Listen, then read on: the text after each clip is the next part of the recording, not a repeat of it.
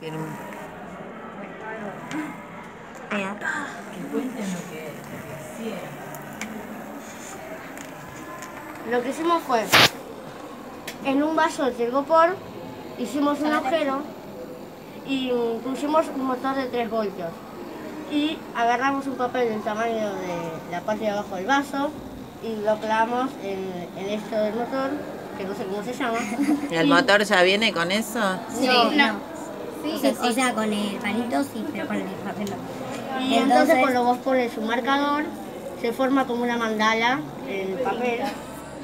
Entonces, cuando lo mueves, se hace así, pero si vos lo soltás, Soltalo. soltalo, Corre el cable.